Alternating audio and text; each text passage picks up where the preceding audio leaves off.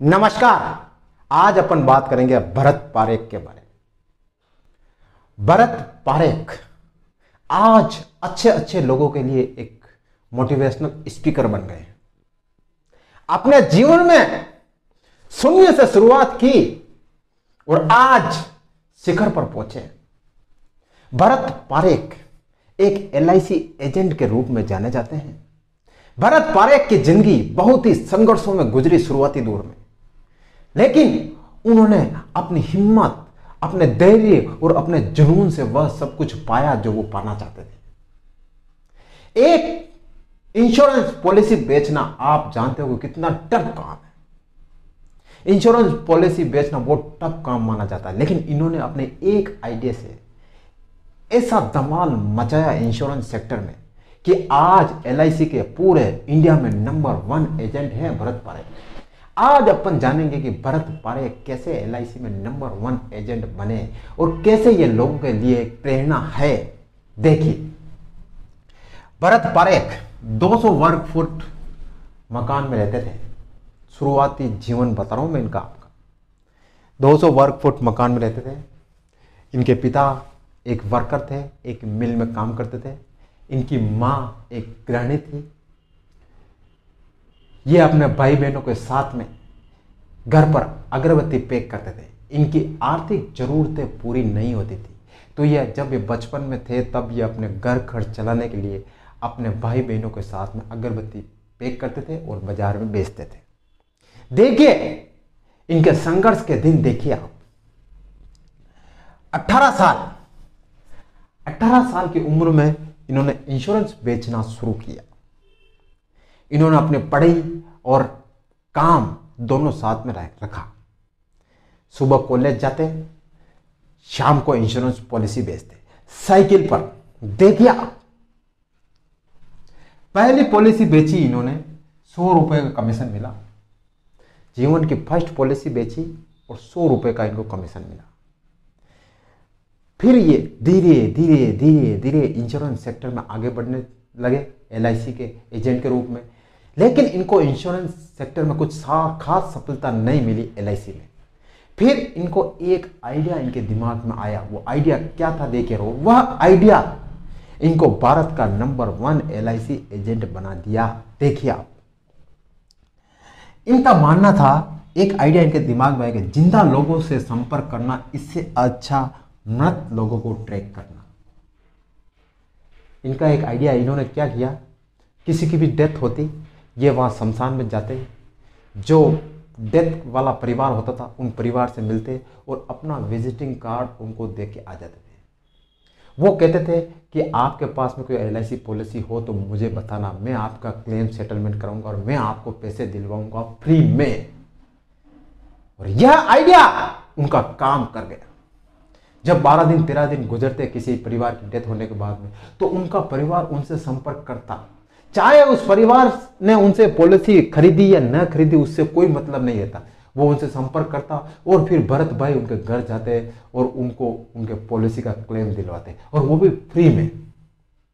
तो जब धीरे धीरे धीरे कस्टमर का ऐसा विश्वास इनके ऊपर बढ़ा तो वही कस्टमर जो पॉलिसी दूसरों से करवाते थे, वही पॉलिसी इनसे करवाने लगे। भरत भाई धीरे धीरे धीरे अखबार में क्या करते? जहाँ कभी जहाँ कभी भी डेथ होती, वो वहाँ उनके घर पे चले जाते और विजिटिंग कार्ड दे के आ जाते। उनमें से कोई संपर्क करते, कोई नहीं करते। लेकिन जो संपर्क करता, उनको ये बेस्ट सर्विस देते।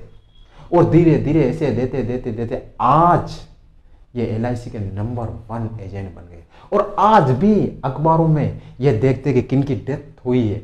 उनके घर पे जाते हैं, उनको विजिटिंग कार्ड देते हैं और वहाँ से वापस आते हैं, कहते हैं कि तुम्हारा जो भी एल का कोई इंश्योरेंस बीमा है पॉलिसी है तो उनका क्लेम हम फ्री में सेटलमेंट आपको करवा के देंगे। फ्री ऑफ़ सर्विस यह सर्विस कस्टमर को पसंद आ गई। और यह जब सर्विस कस्टमर को पसंद आती है ना, कोई सी भी सर्विस छोड़ दो। आप, ये तो LIC पॉलिसी है। आप कोई सी भी सर्विस देख लो। अगर कस्टमर को पसंद आ गई ना तो आप रातों रात चमक जाओगे। और यही भरत भाई के साथ में हुआ। भरत भाई ने 32.4 करोड़ का बिज़नेस किया है एल में। 32.4 करोड़ डॉलर अगर अपन को इसको इंडियन रुपीस में देखें तो 24 अरब 30 crore. You can believe it नहीं, आप विश्वास नहीं कर सकते हो। इन्होंने कुल मिलाकर चालीस हज़ार पॉलिसी बेची। यानी इनके पास चालीस हज़ार कस्टमर हैं इनके पास में। इनके ऑफ़िस में अभी पैंतीस वर्कर हैं और चालीस हज़ार बीमा धारकों का ये रिकॉर्ड रखते हैं। चालीस हज़ार इनके पास बीमा धारक है, उनका रिकॉर्ड रखते हैं।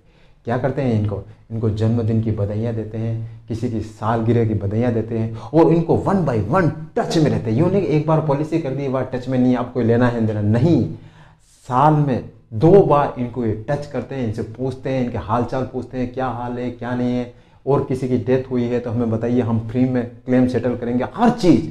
अगर आपको इंश्योरेंस सेक्टर में कुछ करना है ना इंश्योरेंस सेक्टर में अगर पहचान बनानी है तो आपको एक बार भरत परेख से सीखना चाहिए।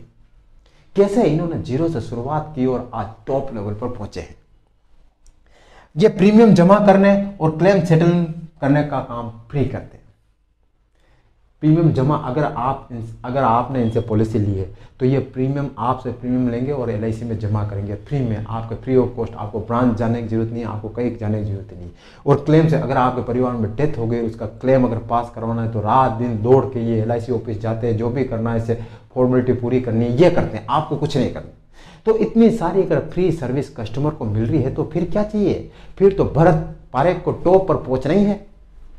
भरत पारेख का सफ़र देखिए आप। सौ करोड़, सौ रुपए से शुरू हुआ और आज चार करोड़।